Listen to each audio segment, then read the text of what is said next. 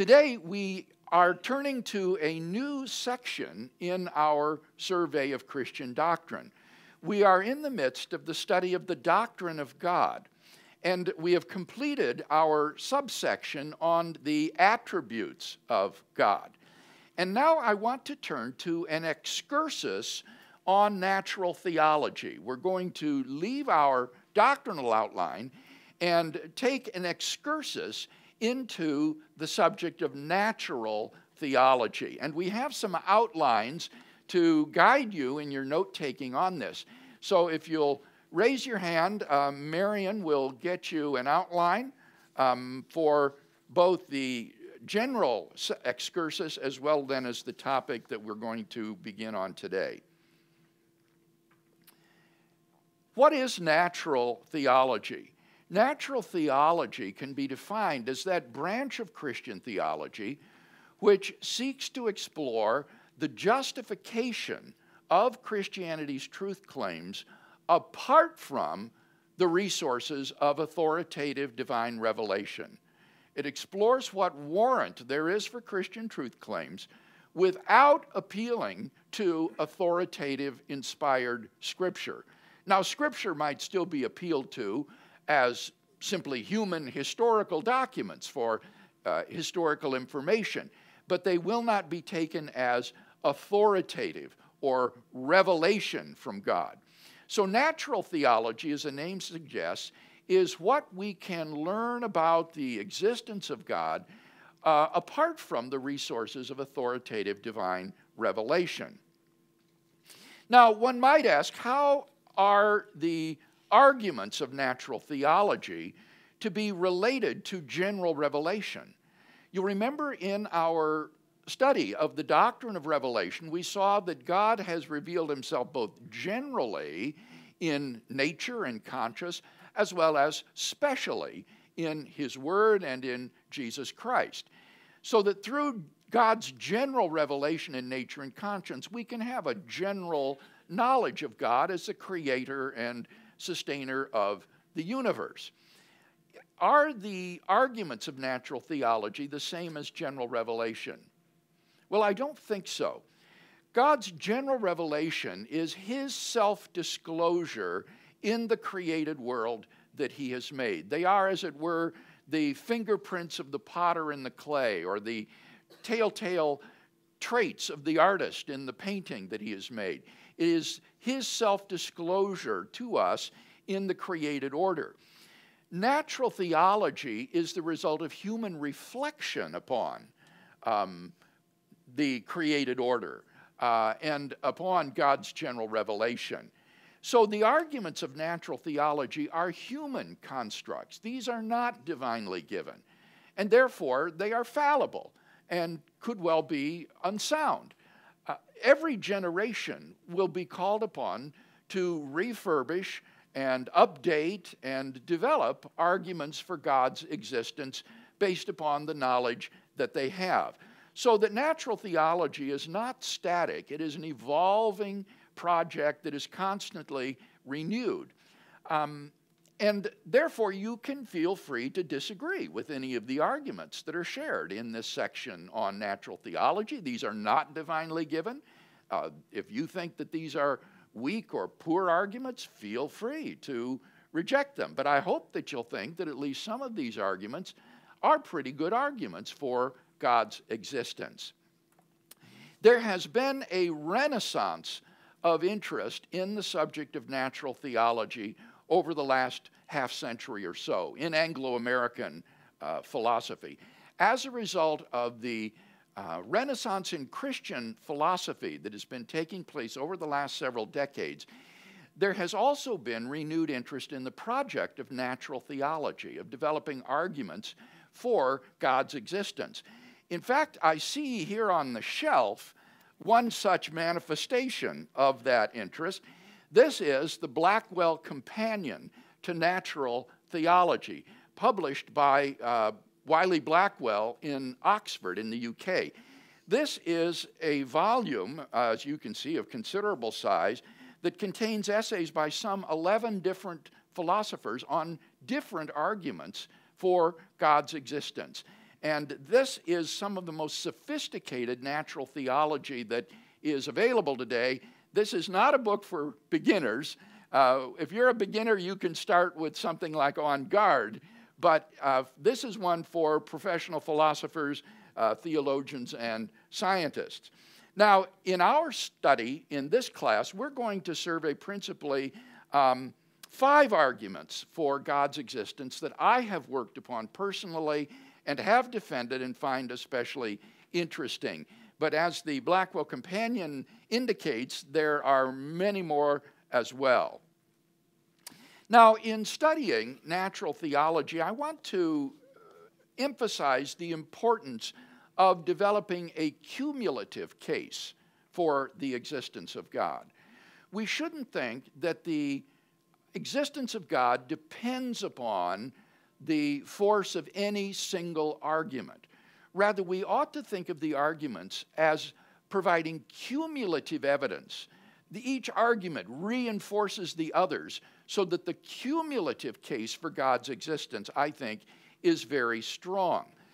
Now, this is important because even if an argument taken in isolation is not a very strong argument, nevertheless, it could be part of a cumulative case for God's existence that would warrant belief in God. I think the perfect analogy here will be a case built um, in a court of law where the prosecution will bring all manner of evidence to try to show that the accused is guilty. And any single piece of evidence might not be convincing. The fingerprint evidence could be explained away. The eyewitness testimony may not be decisive. Um, perhaps they can identify a motivation that would have led the person to commit the crime, but that alone wouldn't serve to convict. Nevertheless, taken together, the cumulative force of all of these considerations could make it beyond a reasonable doubt that the accused is guilty. And in exactly the same way, these arguments shouldn't be just considered in isolation, but rather as part of a cumulative case. So, for example, the ontological argument may strike you as based upon a premise that is reasonable, it's plausible, but it's not one you might think for which you have a, a compelling reason to believe. You, you could just as easily perhaps deny it. Or you might think that the cosmological argument from the beginning of the universe, taken alone, uh, wouldn't prove uh, that God exists, but perhaps taken in conjunction with the argument from the fine tuning of the universe, the combination of the beginning of the universe and its incredible fine tuning would lead you to think that it's more plausible than not that a personal creator and designer of the universe exists. You might think that the moral argument alone would not make it um, sufficient to believe in God, but you might think that the moral argument taken in conjunction with the argument from contingency and the ontological argument present a good case for belief in God. So don't think of the arguments of natural theology as links in a chain. A chain is only as strong as its weakest link. Rather, think of the arguments of natural theology as a coat of chain mail, where the coat of mail is stronger than any single link, because all of the links reinforce each other so that the coat of mail can be very strong, even if there are individual links in it that are weaker.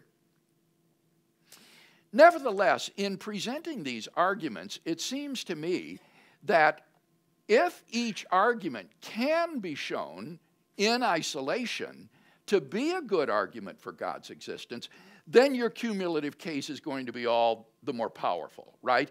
If the DNA evidence is decisive for the guilt of the accused, and you've also got uh, independent eyewitness testimony from people who were in a position to see what happened, and you've got, say, video evidence uh, from the uh, recorder of the person actually committing the crime, Any one of these would be sufficient for conviction.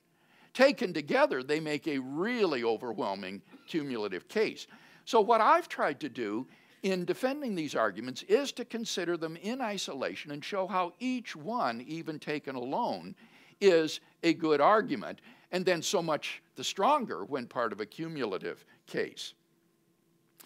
Now, I formulate the arguments deductively for the case of simplicity and clarity. That is to say, I formulate them in terms of some simple premises which then lead logically to a conclusion.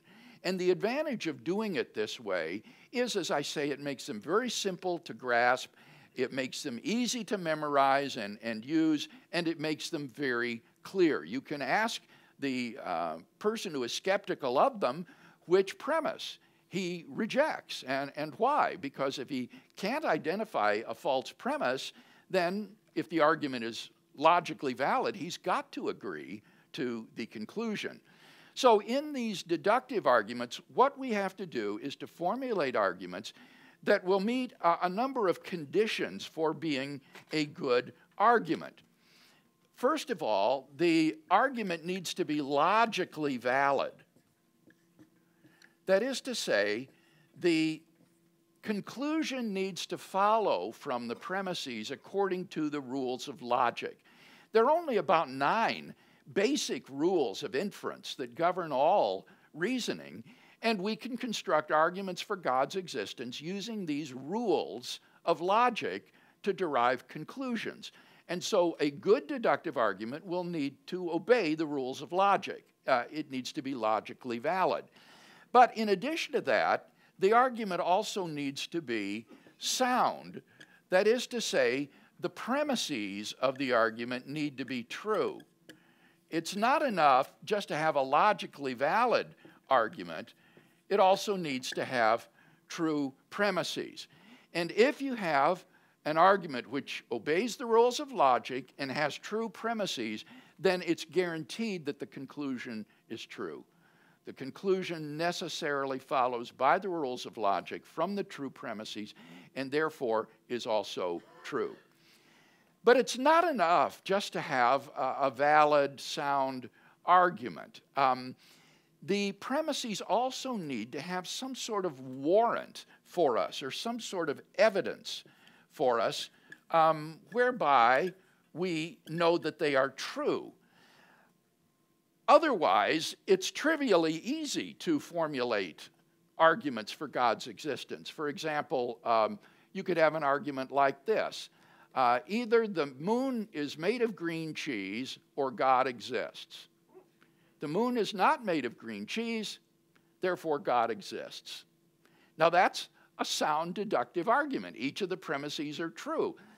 Either the moon is made of green cheese or God exists. Since God does exist, that premise is true. For a disjunction to be true, only one of the either or statements needs to be true.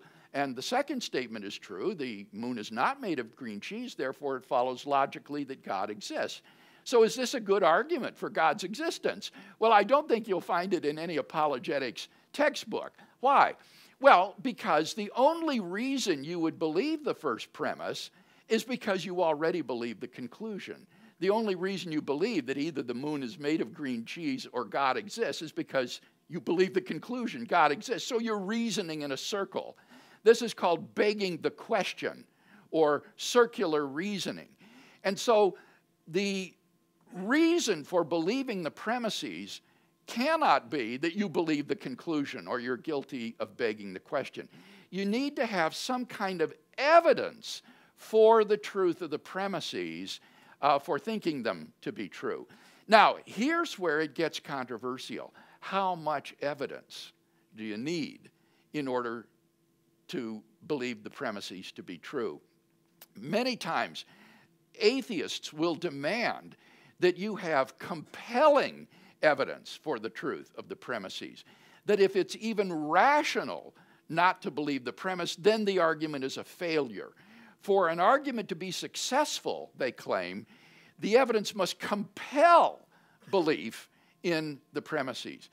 But I think that um, the vast, vast majority of philosophers would say that that sets the bar for success far too high.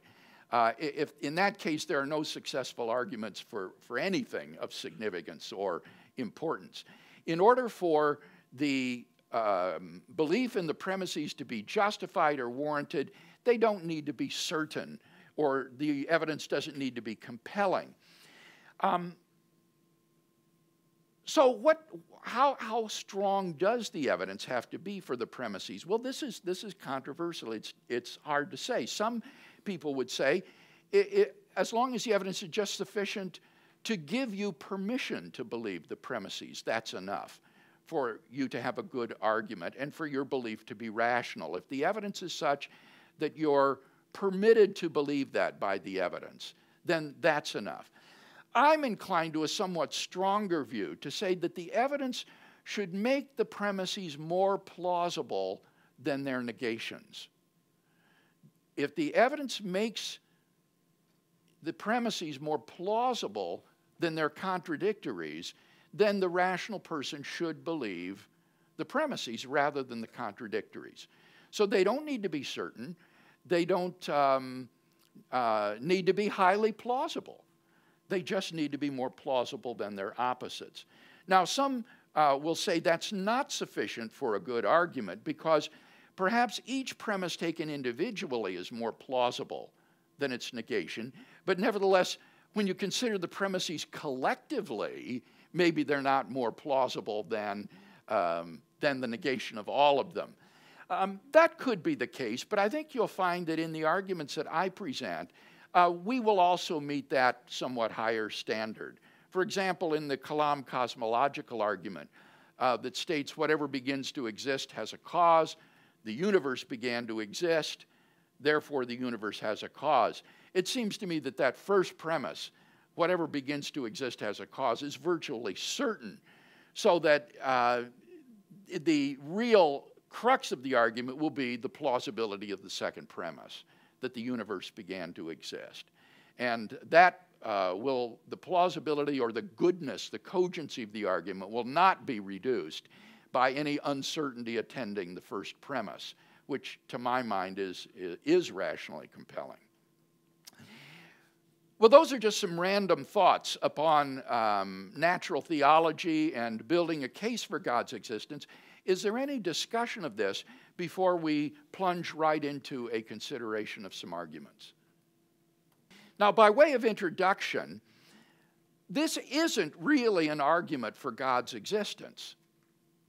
Rather, it's the claim that you can know that God exists wholly apart from arguments. This is still part of natural theology, I think, because what it's arguing is, uh, is that belief in God can be rational and warranted apart from uh, Scripture um, uh, in, a, in a way in accord with natural reason, um, but it doesn't need to have argument. And the chief proponent of this um, point of view today is the great uh, philosopher Alvin Plantinga, formerly of the University of Notre Dame, now retired. And he has a book that I highly recommend on this subject called Warranted Christian Belief. Warranted Christian Belief. And what Plantinga argues is that belief in God can be warranted and is warranted wholly apart from arguments. Now, Plantinga makes clear in this book that he does think that when you consider the arguments for God's existence, it is more than probable that God exists. Uh, the probability, based upon the arguments alone, is that there is a God. But while he thinks the arguments are sufficient to justify and warrant belief in God, they're not necessary. Um, you can have warranted rational belief in God wholly apart from arguments. And Plantinga calls this reformed epistemology after um, the reformer John Calvin, reformed epistemology. So let's look at this more specifically. I put it in the form of an argument. Even though this isn't an argument for God's existence, it is an argument that belief in God can be warranted wholly apart from argument. So, this is a, an argument for taking belief in God as properly basic.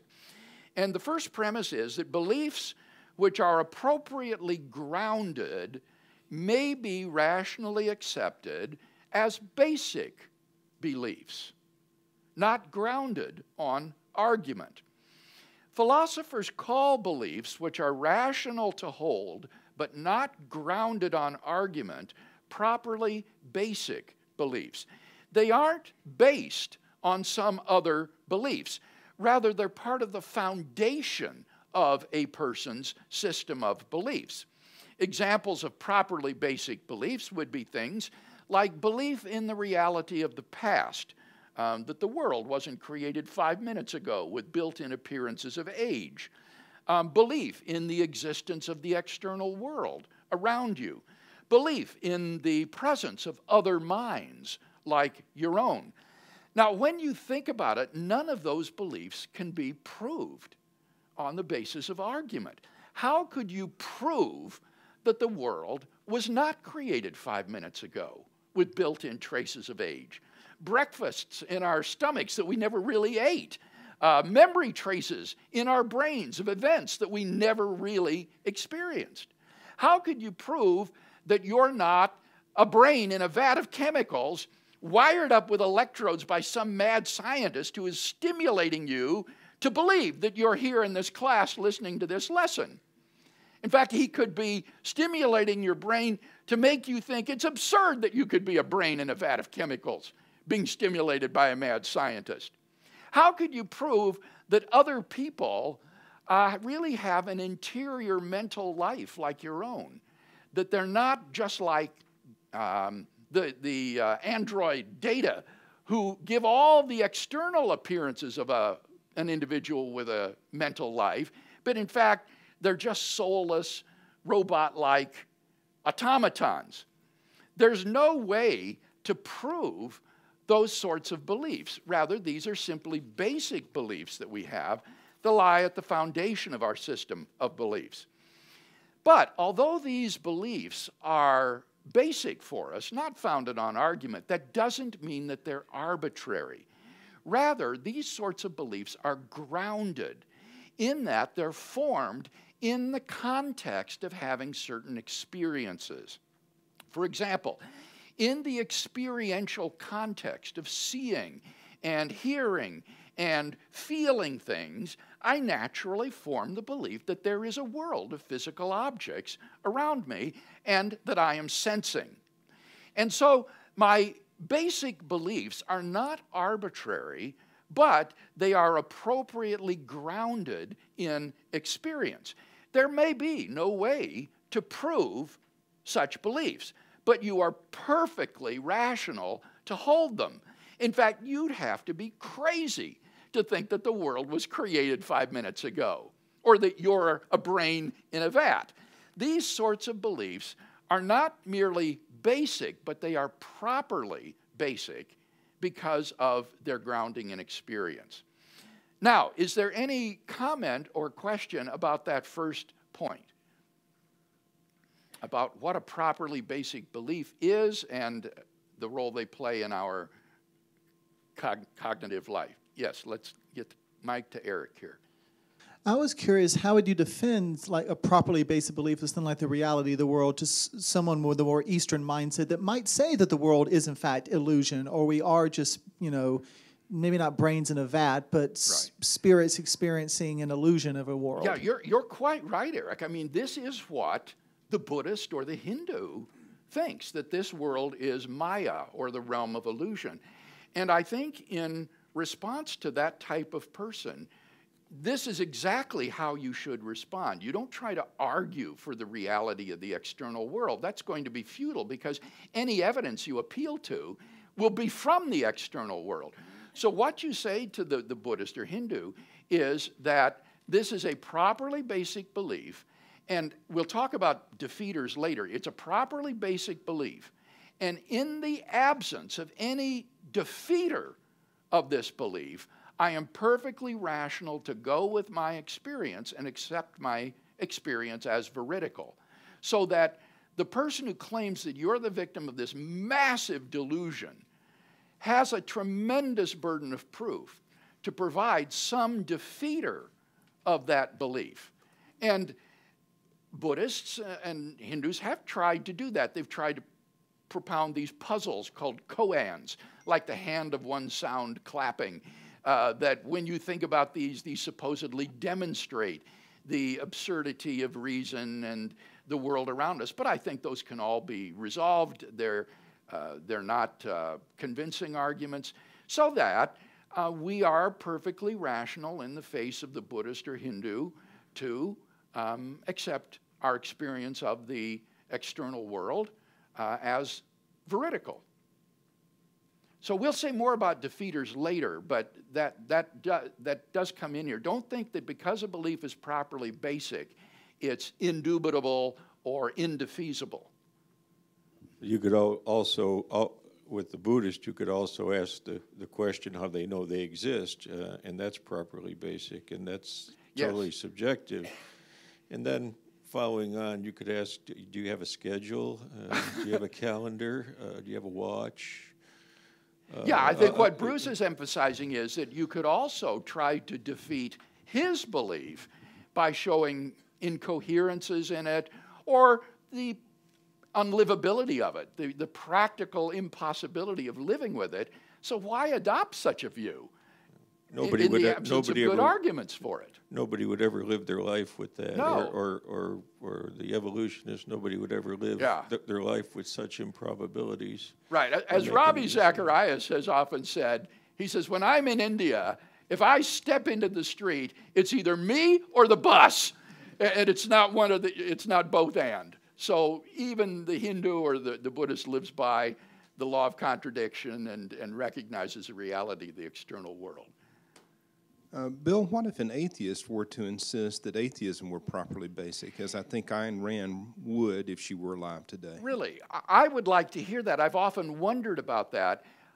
I don't know of any atheist that does say that, Dennis, because it's hard on atheism to think of what sort of experience would make belief in the non existence of God properly basic.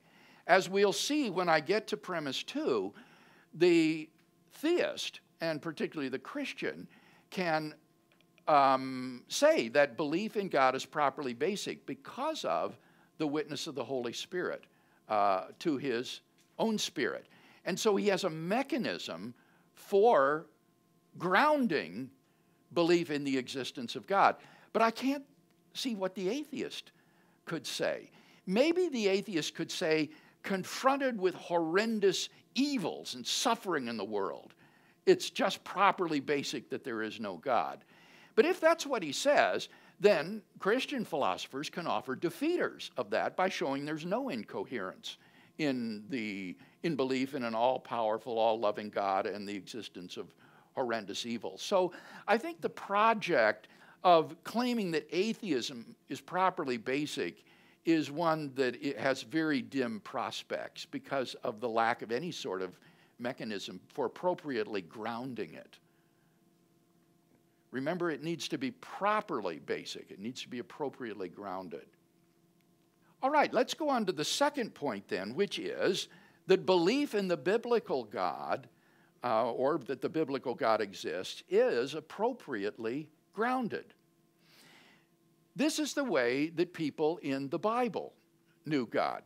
As Professor John Hick, who was my doctoral mentor, explains, and I quote, God was known to them as a dynamic will interacting with their own wills, a sheer given reality, as inescapably to be reckoned with as destructive storm and life giving sunshine.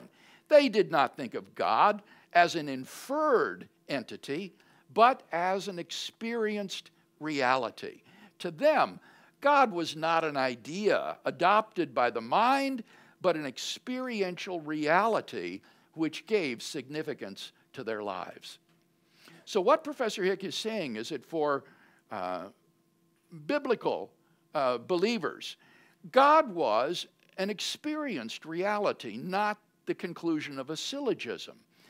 And I want to argue uh, that, in fact, belief in God's existence is appropriately grounded in the experience of God through the witness of the Holy Spirit. Now, rather than plunge into that at this time, we'll um, end a bit early today, but with the promissory note that next time that we're together, we'll look at the inner witness of the Holy Spirit, how that warrants um, belief in God, in the Christian God indeed, to the uh, believer, and also, I will argue, to the unbeliever as well. And then we'll talk about the question of defeaters of um, this belief and how uh, it will relate to those. So we'll hold that until next time. Let's just bow for a word of benediction at this time. Now may the God of peace, who brought again from the dead our Lord Jesus, the great shepherd of the sheep, by the blood of the eternal covenant, equip you with everything good, that you may do his will, working in you that which is pleasing in his sight through Jesus Christ, to whom be glory forever and ever. Amen.